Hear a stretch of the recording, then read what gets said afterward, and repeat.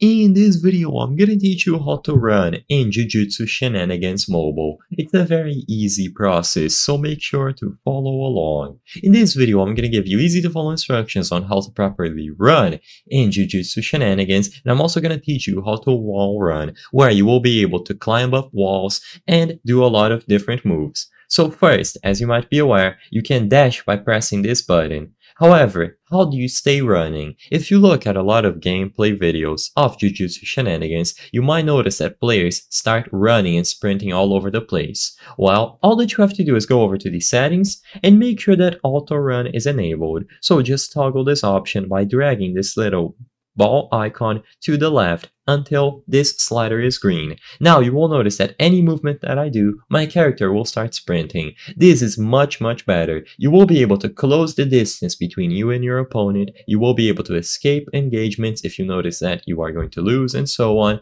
And it is much more enjoyable to play with auto run enabled. In this way, your character is always going to be sprinting.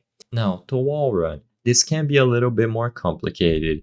First, make sure that you lock your camera behind your back like this by using this lock icon. And now you have to run towards the wall and push the little joystick over here on the left to the opposite side of the wall. So for example, if I were to jump into this wall on the, my right side, I would have to move my joystick to the left as I jump into the wall. So something like this. And as you can see, I did a quick flick and my character jump off of the wall into the opposite side. So you can use this to gain some distance or even to climb up trees and other buildings. It takes a little bit of practice, but as you can see, you will be able to wall run and gain a lot of height and distance.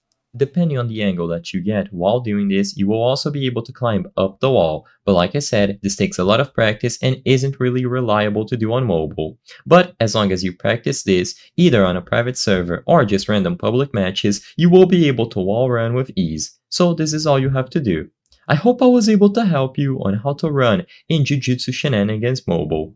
If this video helped you, please be sure to leave a like and subscribe for more very easy tips. Thank you for watching.